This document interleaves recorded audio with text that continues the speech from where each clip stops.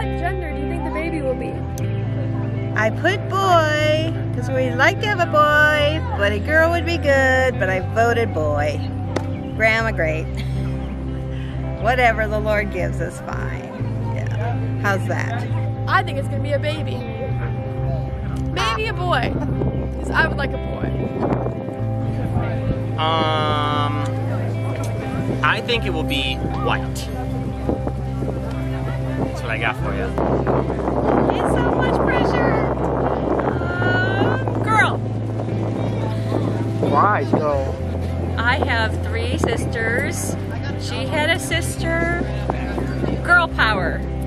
You know, um, the whole time we were waiting for Aria, we thought it was a boy. We keep thinking this one's a boy, so I don't know. It's up in the air. I'm, I'm thinking maybe a boy. I'm thinking boy, but I thought that with Aria, and I was wrong. So who knows? I don't know. Boy. Why? I don't know. I just, that's what I feel.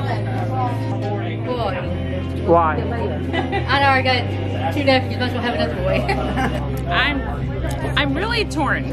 I would like for them to have a boy because I think it would be good to have one of each. But as long as the baby's healthy and Rachel's healthy, I will be one happy mama. Mimi, I guess. I'm a Mimi, not a mama. Sorry. One happy Mimi.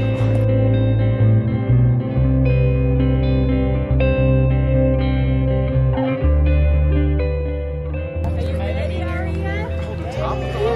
Arias? All right, ready?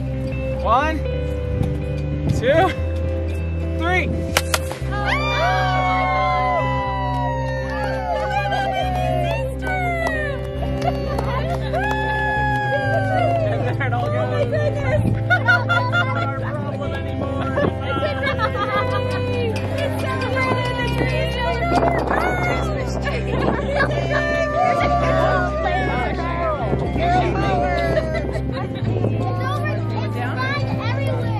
All right.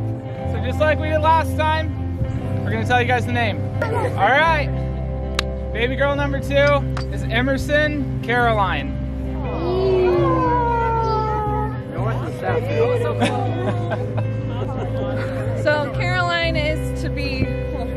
My grandma's middle name is Carol, so we chose Caroline for my grandma.